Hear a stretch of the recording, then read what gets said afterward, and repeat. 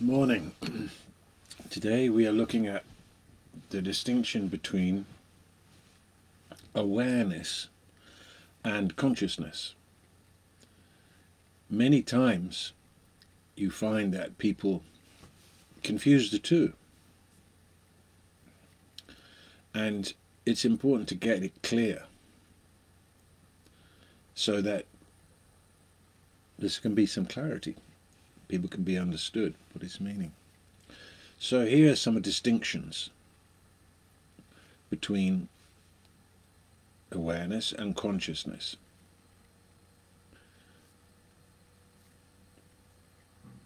Let's look at awareness first.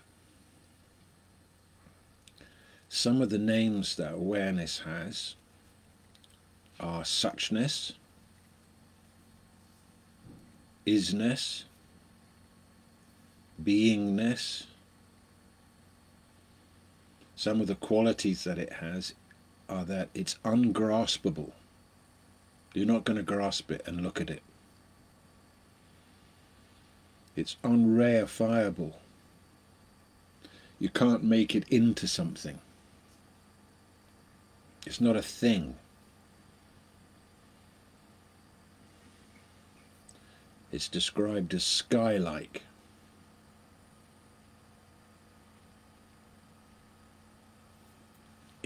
It, doesn't evolve. Awareness doesn't evolve. Awareness doesn't change. Awareness doesn't move. Awareness underlies everything. Awareness is a supreme intelligence, inconceivable in its magnitude, that informs everything that appears, that pervades everything that appears.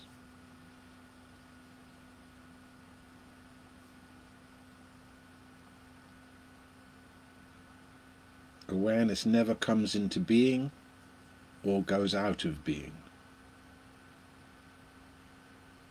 Awareness is not in one place more than another. Awareness has no season.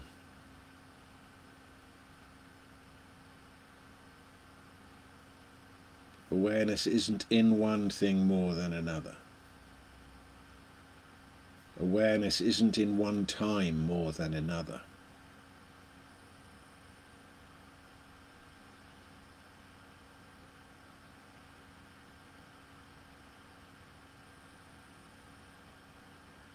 Before all time, there was awareness. Throughout all time, there is awareness. After all creation is dissolved, there is awareness remaining.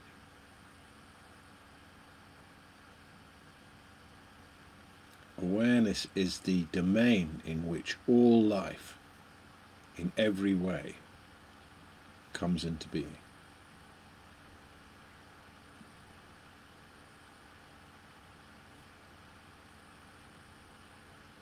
Now, consciousness is different. And how is it different? Consciousness is the quality of something.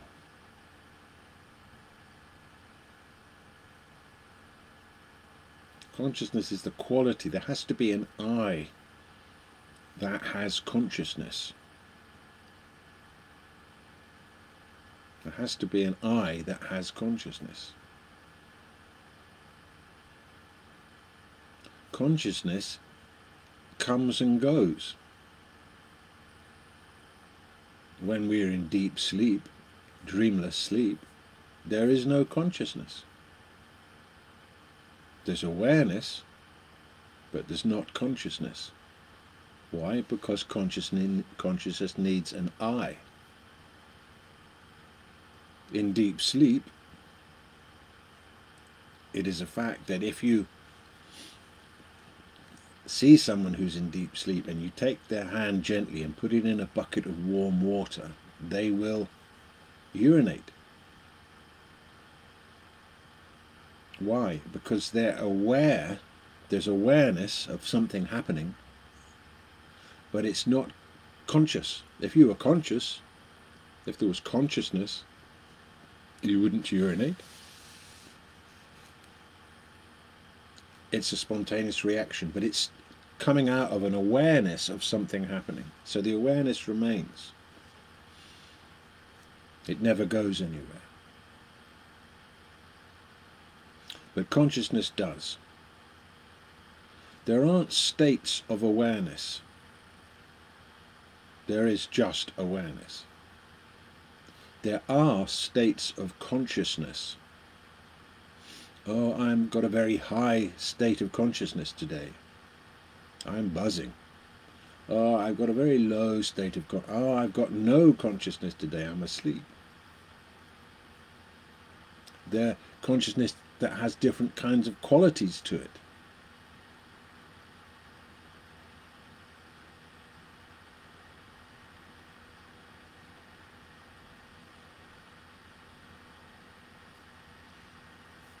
Whereas awareness has no qualities.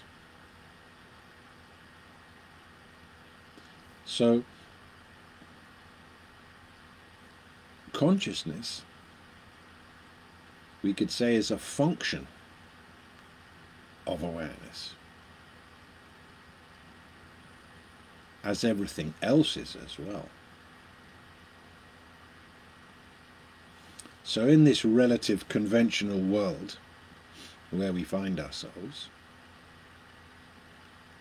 there's this sense of I arises.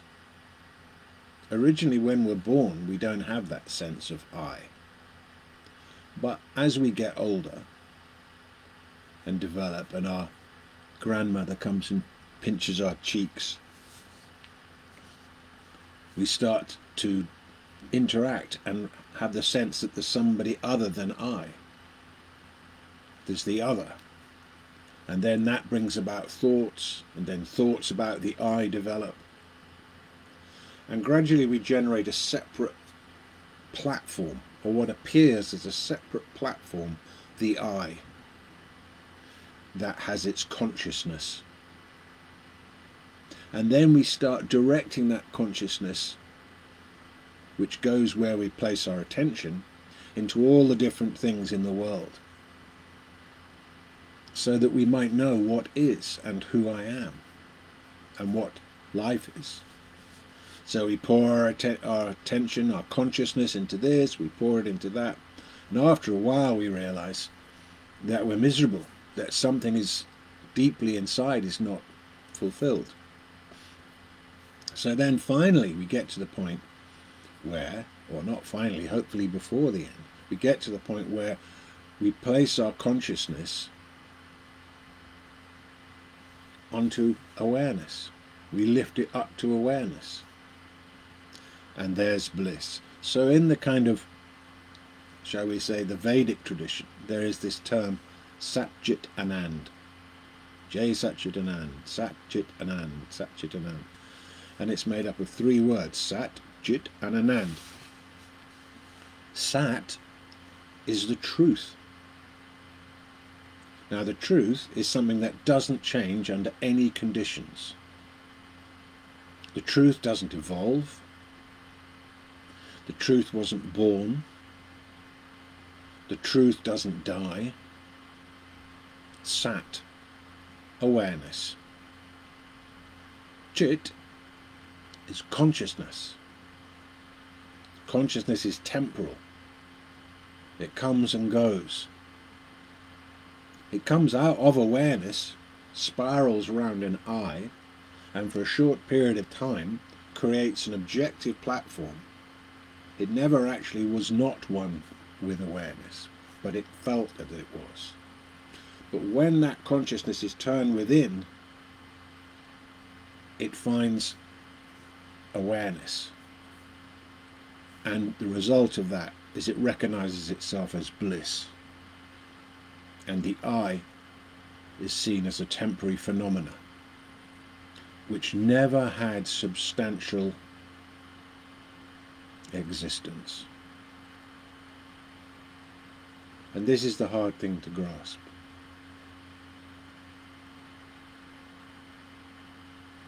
Just like a character in my dream.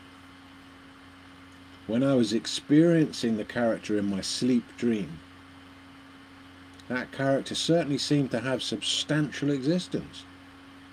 But when I woke up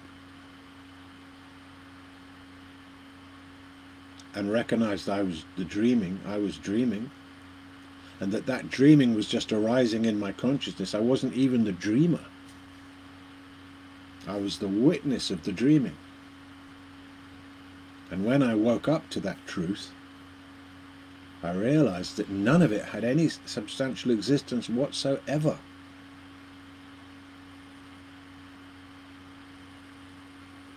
And that even the consciousness states that I displayed in my dream were not real either. They had no substantial existence. They appeared to be real. I'm deeply asleep and I'm dreaming of meditating or I'm dreaming of having a profound experience or dreaming of Buddhas or something. And it appears that I'm having a really profound experience, a high state of consciousness in my dream. But when I wake up, I realize it had no substantial existence whatsoever.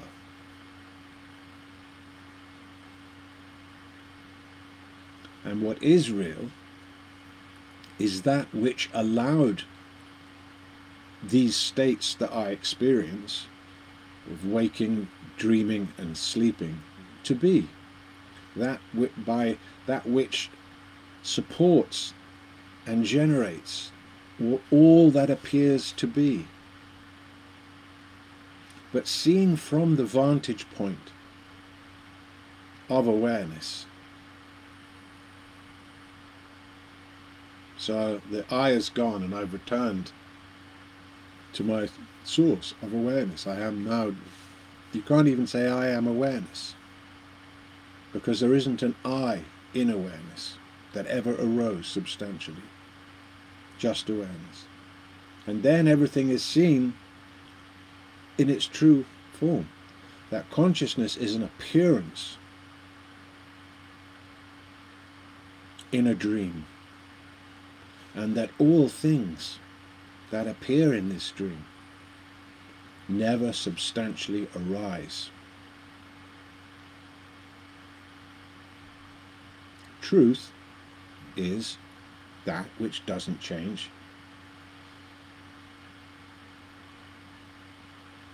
Sat, awareness. The sky, if you like. We couldn't say the sky was a thing, could we? You can't grasp it. You can't look at the sky. Your senses can't detect the sky. Yet clearly the sky is there because that's where the clouds and the weather roll by. If there wasn't the sky, where would they be?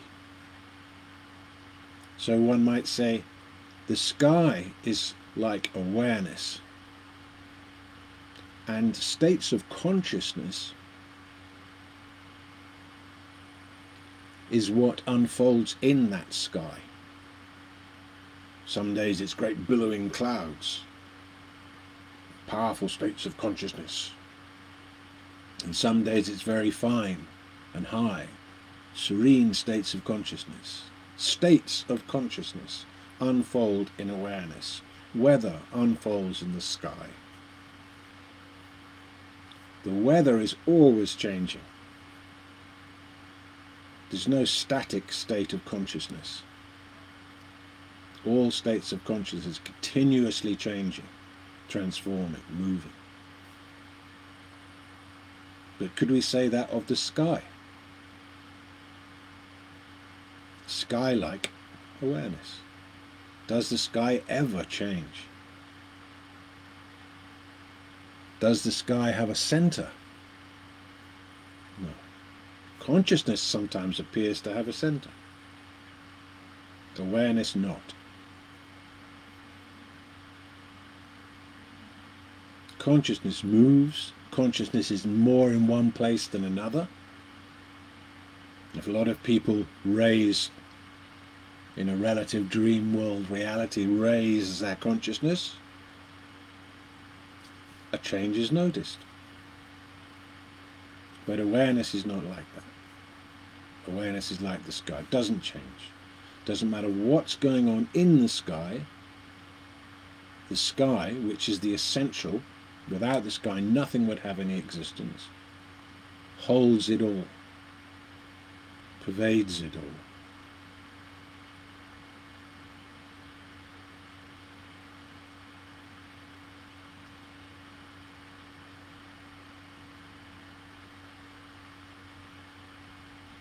So when everything is put down, the psychological self is put down, the part we're playing in this dream, the part we're playing in the movie of our life, when it's put down for a moment, and we turn, look backwards to inquire what is looking out.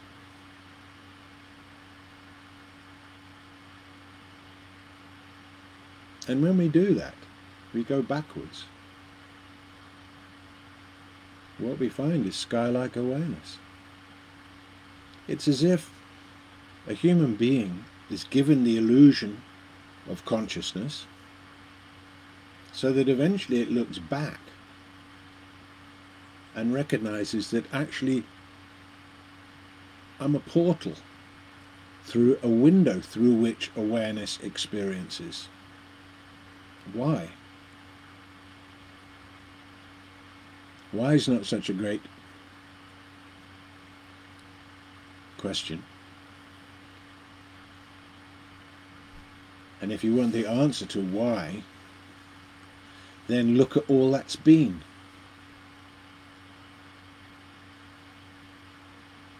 That's why. Or you could say, awareness takes form of, and gives consciousness to a dream being, me, so that it might know itself, so that there might be a subject and an object, so that gratitude might arise, so that wonder might arise, so that joy might arise.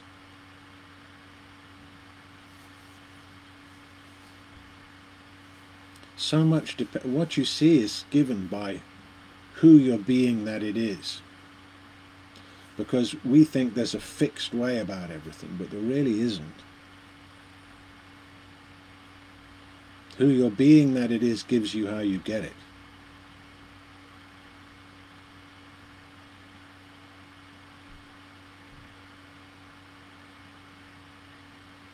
And when you completely stop being any way that it is and just let it be what it is without any projections upon it, then consciousness and awareness align.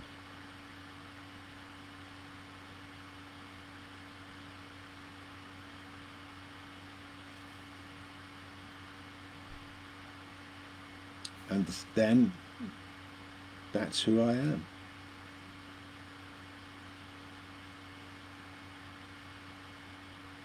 So consciousness is the gift. Consciousness is, you know, the great gift of this life. That we have consciousness. But what is it that is the best thing to do with that consciousness?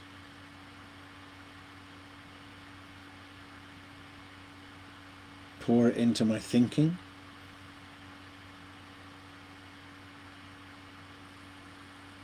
Waste it on trying to make something happen in this dream world?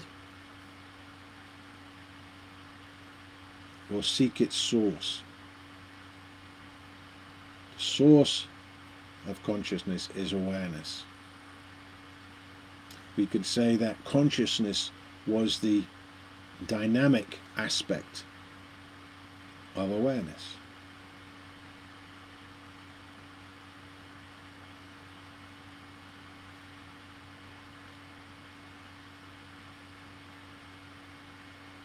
When we sleep dream, most people think the content of the dream is what's important. I must look in the dream dictionary to find out what it means. I dreamt of an elephant standing on its hind legs on the top of a mountain. What does that mean? But actually, more important than the content of the dream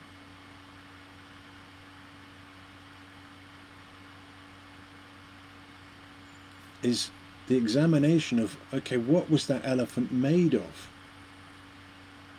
At the time, it seemed wondrous and real. And the mountain seemed real. And the space around that the mountain was in seemed real.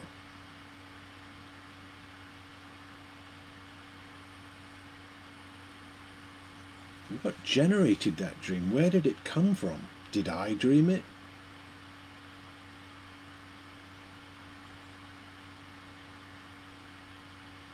So the benefit is, is looking and seeing, well, is that true on this domain, in this world, on this plane of existence? Is that what's happening as well? What would I see if I woke up here? First of all, is there the possibility of a further awakening? I was asleep dreaming, then I woke up. Is there a possibility of awakening on this level? Is there perhaps a fourth state? What is the awakening? On this level, what would I see if I awoke? Would I actually see that none of this has any inherent substantial reality? That it's all dreamlike. And what is real and unchanging is awareness, is the truth, the absolute truth. The absolute truth isn't a statement. A lot of people were looking for a statement of what the absolute truth was. Ah, the absolute truth is when da da da da da and da. No.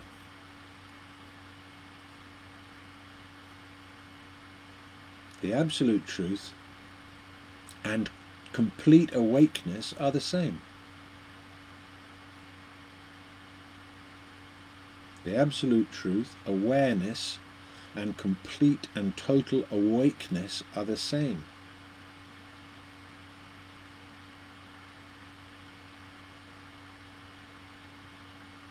So we might say consciousness is how awareness looks into the dream. Consciousness is the currency between beings in a dream. And that all happens in unchanging awareness. But the good news is this it's not by speaking, oh, I get it. No, it's not like that. It's a seeing This distinction of awareness and consciousness that opens up a possibility of being, of seeing. Because it's there all the time. It's just been missed. Our consciousness has been going in the wrong direction. And then at some point we allow that to go within. I say within, it's not really within. And the consciousness returns and focuses and merges with awareness, and there is the great revelation of what is real and what isn't real, of what true joy is of what freedom really is. And what the self really is.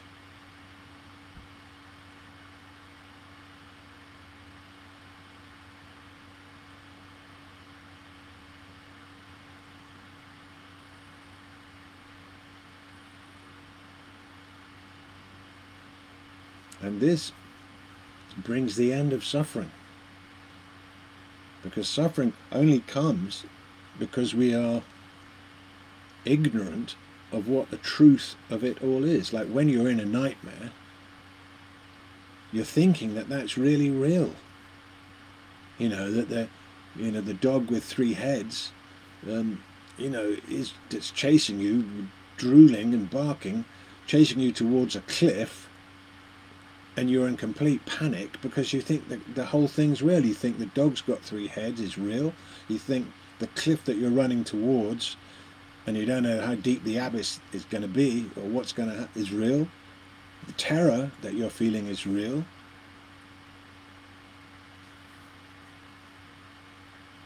But that isn't how it is. And then you wake up and you go, oh my God, I was suffering because I forgot what is real, what is unchanging, what is ever present, what is omniscient, what is omnipotent, what is inconceivable, what is the source of all glory. I forgot. And my, con my consciousness went elsewhere, and I suffered. Then we can bring our consciousness back. We, that's a choice we can make. That's a choice that arises and that we can go with.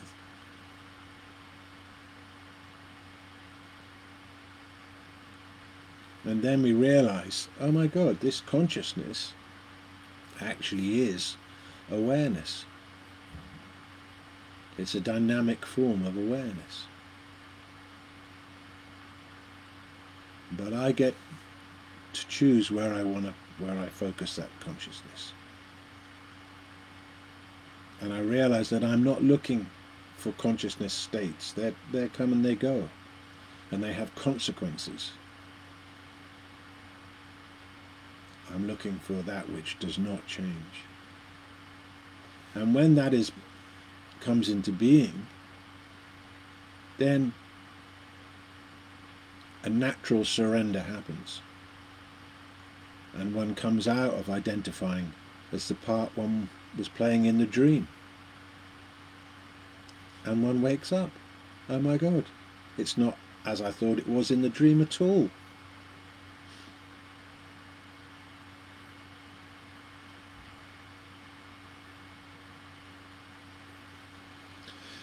So I hope this has been helpful and that you you are able to make that distinction because that is what wakes us up.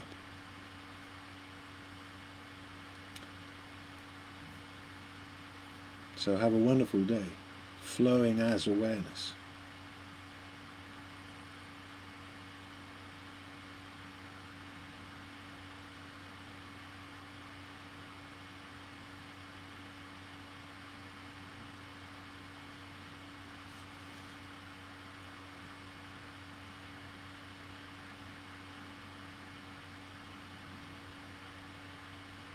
Somebody said here, how do you get purpose out of your aware consciousness?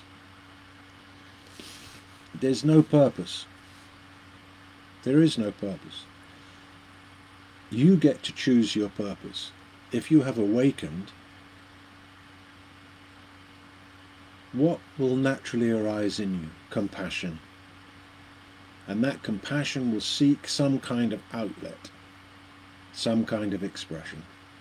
You'll do some service for your brothers and sisters or the planet or both.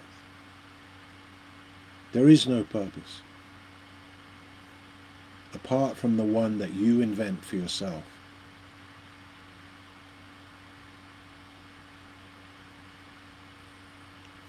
When you recognize this awareness,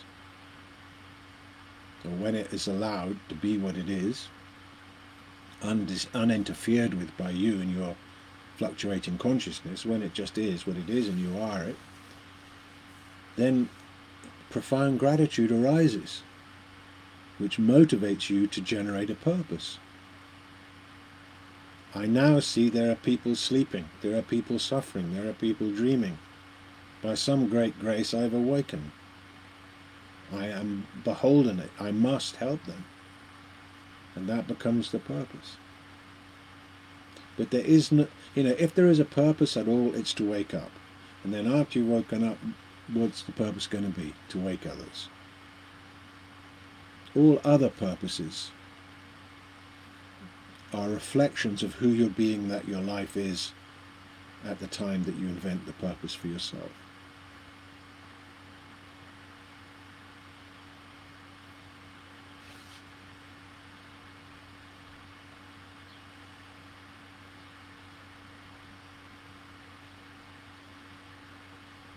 So any more questions there? No. I see I've got some beautiful friends there today. Sending you my love. I hope you can feel it.